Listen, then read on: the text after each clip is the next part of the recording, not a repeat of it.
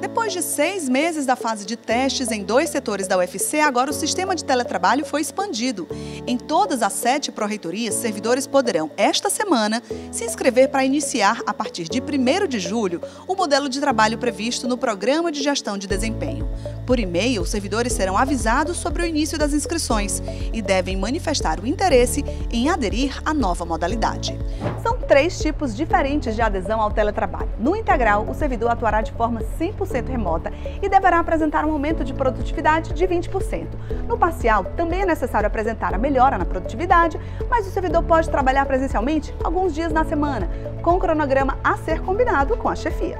E tem ainda o modelo presencial, em que o servidor vem até a universidade todos os dias, mas é dispensado do registro do ponto. É importante lembrar que, para realizar o teletrabalho, equipamentos e infraestrutura devem ser providenciados pelo próprio servidor. Desde o ano passado, uma comissão acompanha a implantação do teletrabalho na UFC. Foi esse grupo que emitiu as orientações para a execução do Programa de Gestão e Desempenho nas unidades.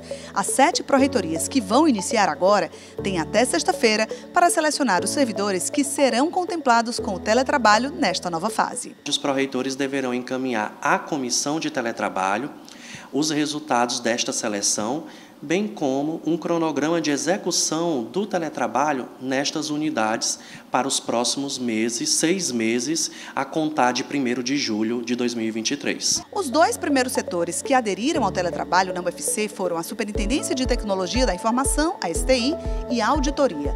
A experiência mostrou resultados animadores. A expansão do projeto para sete proreitorias foi assinada na semana passada. Segundo o reitor da UFC, uma modernização importante na nossa forma de trabalhar trabalhar. Essa é uma conquista dos servidores, mas é uma conquista que vem acompanhado de uma responsabilidade muito grande, que é manter a qualidade do serviço, manter o atendimento, a eficiência e tal. Quer dizer, essa conquista e a ampliação dessa conquista vai depender exclusivamente dos nossos servidores. E eu estou certo que ele será ampliado para toda a universidade. O aumento da produtividade é uma vantagem importante para o UFC, mas para o pró-reitor de gestão de pessoas, os benefícios vão muito além.